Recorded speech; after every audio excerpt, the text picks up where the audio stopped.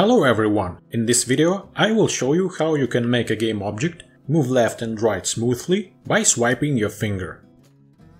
In the previous video we created this simple scene with space background, a rocket and animated engine fire. I put a link to that video into the description, so you can check out how it's done if you want to. So in this case, our rocket is controlled by a new script, which is named as Smooth Move Swipe.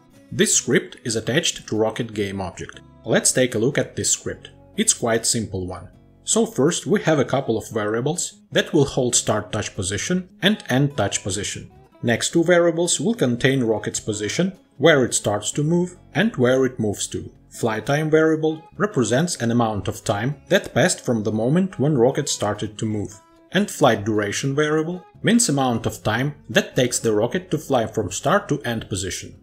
The lower this value is, the faster the rocket flies. Then, in update method, we check if touch event occurs and touch phase equals to begin, which means that we put a finger on the screen. Then we mark this touch position as start touch position. And if touch event still takes place and touch phase equals to ended, which means that we release a finger, then we mark this touch position as end touch position. After that, we need to check a couple of conditions.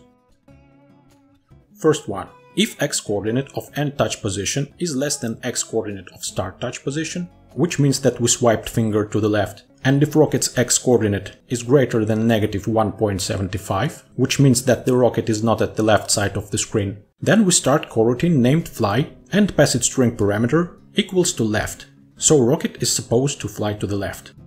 Second condition.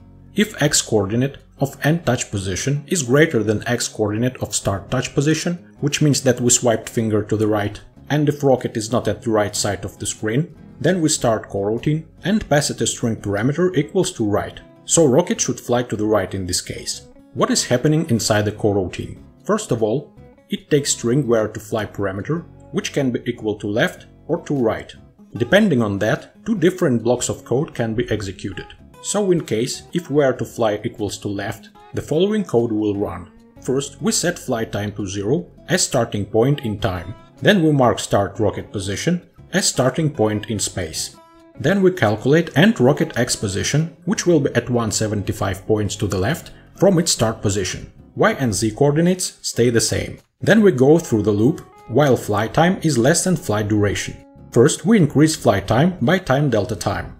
And then we modify rocket's position using vector2 lerp function. This function interpolates rocket's position in space between start position and end position, depending on third parameter, which is altering between 0 and 1, where 0 is start position and 1 is end position. When third parameter equals to 0.5 for example, then rocket's position is in between start and end position. In effect, the exact same code will be executed in case if where to fly equals to right. The only difference is in plus sign in end rocket position calculation.